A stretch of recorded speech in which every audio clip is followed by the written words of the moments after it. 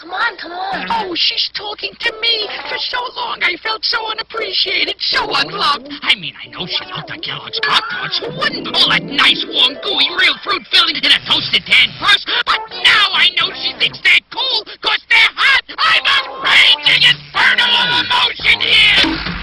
Finally. Kellogg's Pop Tarts, part of this complete breakfast. They're cool. Cause they're hot. Mom, this toaster takes forever.